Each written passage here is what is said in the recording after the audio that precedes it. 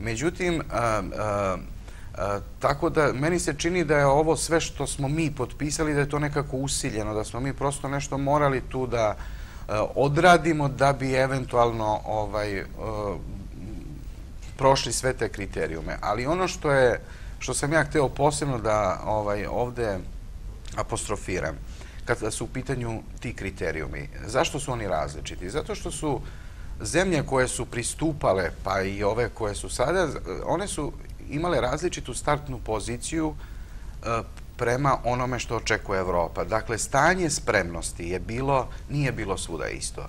Zašto e, sad se ljudi pitaju, pa zašto sad Srbija ovako, pa zašto nas drže na dugom i tako dalje? Zato što je Srbija poseban slučaj, prosto zbog prirode problema i pitanja koja ima nerešeno.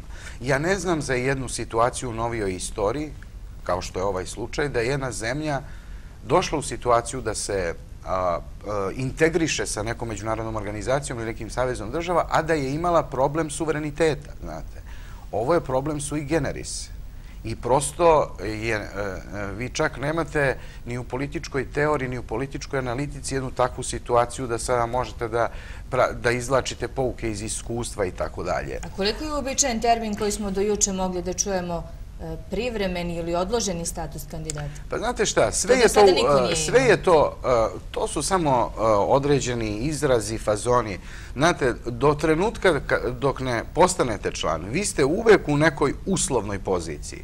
Samo što su oni iz taktičkih, da kažem, analitičkih razloga to podelili na neke nivoje stratume i spratove. Jer faktički vi onog trenutka i kad, i kad se ratifikuje u svim državama članica onda prođe neki period od godinu dana jer ne zaboravite da vi tu ivak imate neki period monitoringa. Znači mi smo sada završili jednu stepenicu i mi čak i da smo dobili danas status kandidata, mi ne bismo rešili problem, ne samo bez datuma, znate, jer to opet ide za godinu dana. A da smo dobili status, šta bismo morali da rešimo? Mnogo se pričalo o tome, prošlo put, sećate se da je od pa, jutra do uveče e, priča o kandidaturi zapravo prerasla u priču o Kosovu i o pitanje Kosova. Da li bismo to morali da rešimo i pretpostavljam da je to nešto što ćemo u ova tri pa, meseca morati da rešimo. To smo i prošli put govorili, ako se ne varam. Znači ono kada je u pitanju Kosovo, znači zahteva se jedna dobra saradnja, znači implementacija sporazuma. Dobra saradnja znači šta? E, upravo to, ono što timovi, znači Prištine i Beograda dogovore, mora da bude sprovedeno. S druge strane, znači, zahteva se e, jedan, jedan e, znači, slobodan protok ljudi.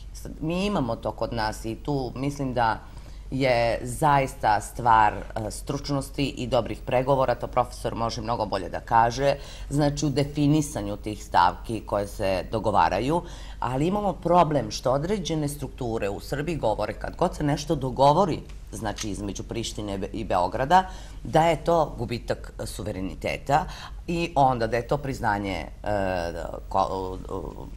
države Kosovo, što ne mora da znači. Znači, jednostavno je daleko još uvek od istine, a s druge strane, e, pravno gledano, određeni elementi ili ti ovo što je bio zadnji zahtev, e, jeste dosta osetljivo pitanje. Iznad svega političko pitanje. Znači, moramo sad e, ćemo imati verovatno malo... Samo ste inspirisali. Da, pa e, zato što to jeste e, u suštini tako. E sad, mi, ono što je naš problem, problem Srbije i ono što smo malo pre rekli, nije samo to da, da mi između sebe doživljavamo to kao nevoljno. Problem je što je čitava međunarodna zajednica te pregovore doživela od strane Srbije kao poprilično nevoljne. U tome je suština problema. A s druge strane što mi još uvek naši lideri nemaju dovoljno hrabrosti da se suoče i da krenu ovi da rešavaju neke stvari. Mi smo izgubili godinu dana. I zato smo sada danas u ovoj poziciji. Ja moram da kažem da je, ako se baš to malo pogleda sa jedne strane objektivne, znate, ovo uopšte pitanje Evropska unija ili Kosovo, to jeste jedno vrlo ambivalentno, ja bih rekao jedno šizofreno pitanje. Jer ne možete vi jedno i drugo. Znate, ako je uslov, malo pre govorimo o uslovu, uslov je da imate dobrosusedske odnose i tako dalje. Kako ćete vi imati dobrosusedske odnose ako sada imate jedan separatni proces? Vi možete to nešto tehnički ovaj, obezbediti da cari ne funkcionišu, ali vi vidite prosto to je do sada nekoliko puta i pokazano da Nemačka i Sjedine američke države insistiraju do kraja i one insistiraju na tom na tome da se dovede do kraja ta kosovska nezavisnost. Da nije bilo barikada, da li bismo prošli danas drugačije?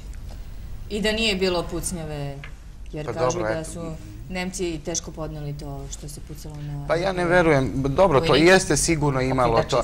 Pazite, to jeste bila neka vrsta okidača, ali to je samo uticalo da se sve to što se možda dogovorilo nije se stabilizovalo, nije prosto došlo do jedne realnosti da su to svi prihvatili. Ali kažem, jednostavno, e, mi, iako odustanemo od evropskih integracija, mi time nećemo rešiti Kosovo.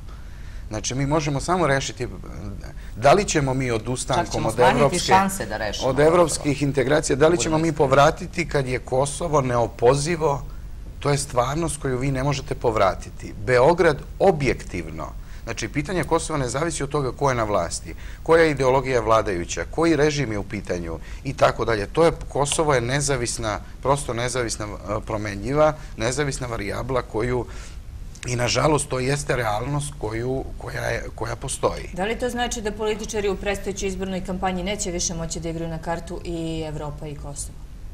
Pa evo vidite dve političke partije koje su najznačajnije, otprilike govore jedno i drugo, znate, da će da možemo i da sačuvamo Kosovo i da uđemo u evropske integracije. A koliko će to biračko telo da proguta? Pa naše biračko telo je mnoge stvari guta i to vrlo onako ovaj, e, sočno što bi se reklo, ali znate, e, i ovaj dalji proces koji sada ide, e, znači da li će biti za tri meseca i četiri, u mnogome će zavisiti od nekih strukturalnih reformi u Evropskoj uniji. Znate, Evropska unija je jedan konglomerat država, regiona koji su u principu različi. I mi sada već imamo strukturiranje te Evropske unije na jedno tvrdo jezgro, na jedno meko jezgro i na jednu periferiju. Kad kažem na periferiju, tu mislim i na balkanske zemlje Zapadnog Balkana i sigurno je, znači, postoje ozbiljne teze e, koje govore o tome da će se i Evropska unija na neki način imaće e, neka tri stepena integrisanosti ili tri i tako dalje. Jer prosto kad vi pogledate, uzmite sada kako funkcioniše Evropska unija. Vi imate u tom, da kažem, nekom tvrdom jezgru imate rivalstvo između Nemačke i Velike Britanije. I očigledno je ko, je, ko povlači poteze u svemu tome, znači taj trio, znači Merkel, Sarkozy i e, ovaj Velika Britanija. Tako da i tu imate, kao što i u državi imate one koji su jači i slabi, tako i u Evropskoj uniji imate.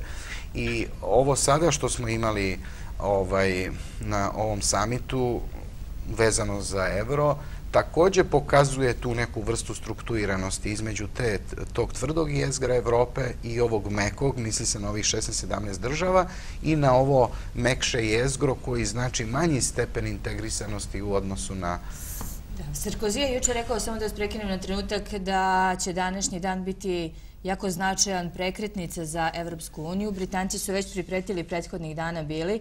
E, znamo kakav je stav Nemačke. Ono o čemu e, se nije danas puno pričalo u našim medijima. Dakle, Evropa se danas bavila više sobom nego nama. Ova odluka je doneta, rekla bih, mnogo ranije, jer su mediji još jutro dobili i došli do pisanog dokumenta koji je kasnije izvanično objavljen, što će reći da je ova odluka, pretpostavljena, već tokom nedelje bila doneta, ali lideri 23 evropske zemlje dogovorili su se da se odreknu dela suvereniteta u okviru novog ugovora, međutim nisu uspeli da privole svih 27 zemalja da im se pridruže i danas je Britanija ponovo izdvojila.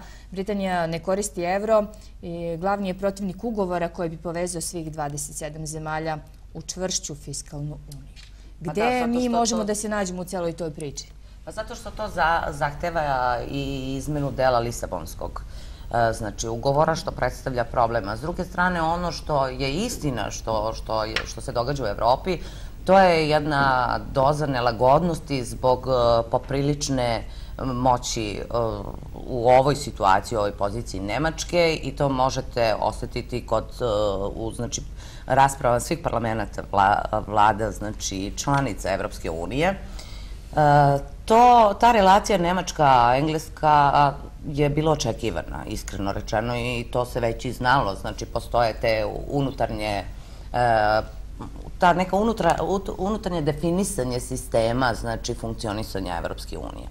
Ono što su Sarkozy i Merkel planirali da urade, oni će to verovatno uraditi, ako se ja ne veram, oko 17 članica je već to podržalo, tako da će to ići u tom smeru. Ja sad mogu da kažem da, da je neki moj lični stav da to možda neće doneti previše dobra Evropi, jer ako pogledamo zadnjih deset godina događanja po tom principu, jer tu se radi od 0,5% do bruto dohodka do ove, 3%, ako pogledamo samo unazad deset godina šta se događalo, svi su kršili taj limit, čak i Nemačka.